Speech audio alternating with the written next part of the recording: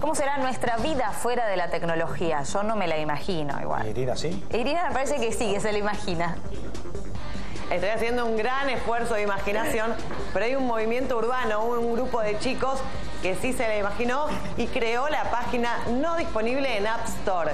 Sabemos que las miles de aplicaciones que andan dando vueltas para cualquier cosa muchas veces tienen el sello que es esta etiqueta que dice disponible o available en, in App Store. Bueno, lo que propone este grupo es sacar fotos, fotos con cosas que no están disponibles en la tienda y que consisten en el mundo real.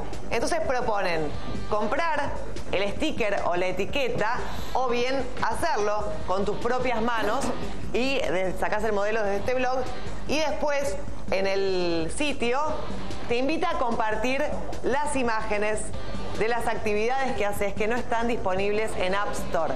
Entonces gente de todo el mundo comenzó a enviar las imágenes con la etiqueta que compró.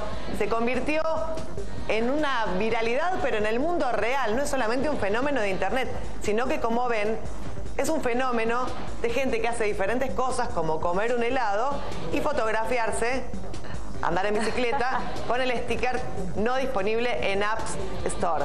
Así que si les interesa mostrar que hay una vida real, un mundo real más allá de las aplicaciones que usamos para cualquier cosa, ¿no? Uno quizás con el GPS empieza a perder la ubicación. Yo cuando me fui de viaje me instalé un cuenta pasos para ver cuánto había caminado y comparaba y me olvidé un poco que también me podía dar cuenta sin tener la ayuda de una aplicación. Así que los invito, el sitio se llama notanapstore.com, lo pueden mirar, pueden imprimirse la etiqueta y sacar sus propias fotos. Gracias, Siri. Nunca se me hubiese ocurrido comprar un cuenta paso. No, no, no, a mí tampoco. Pero bueno, todo lo otro que contó me encanta. Me encanta y lo tenemos que aplicar, sí. Vamos a ponerles etiquetas a las lapiceras. ¿Qué es solo de cuenta paso? ¿Sí? ¿A vos también? Me encantó. Me encantó, ¿no? Me encantó. Es más, voy a comprar dos cosas, un cuenta pasos y un cuenta días para la grilla. pasos que di, 11.000 alrededor de cada día de paseo. ¿Cuánto? Y aparte 11.000 pasos y acá en la ciudad no doy más de 2.300. Uh. Upa. Irina camina más de vacaciones que en la ciudad. Mira, bueno, eh, Fighter, ese es el tema que nos convoca.